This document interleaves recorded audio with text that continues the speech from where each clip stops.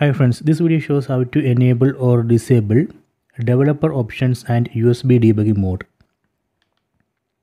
First go to settings, select settings, then go to system, select system, then select about.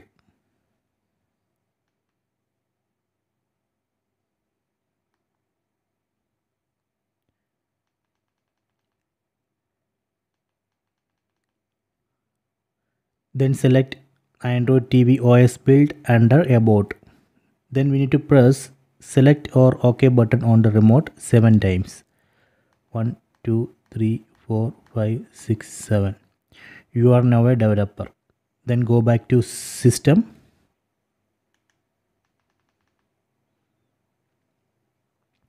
Now under system here we can see developer options. Select it. So these are the developer options. From this list we need to find USB debugging. Let me enable it.